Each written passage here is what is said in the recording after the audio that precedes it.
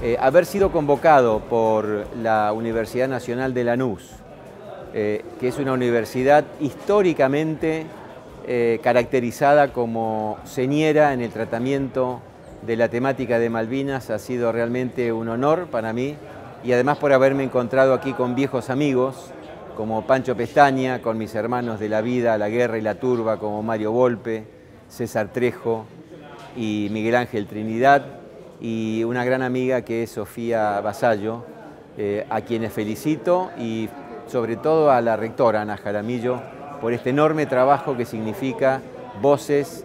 de Malvinas a 40 años de la guerra. Sin duda que para los argentinos Malvinas debe ser causa de unión nacional y para que sea causa de unión nacional tenemos que conocer qué pasó en Malvinas, por qué pasó lo que pasó, cómo pasó, para qué pasó y los que fuimos, qué hicimos, para que la juventud, que es la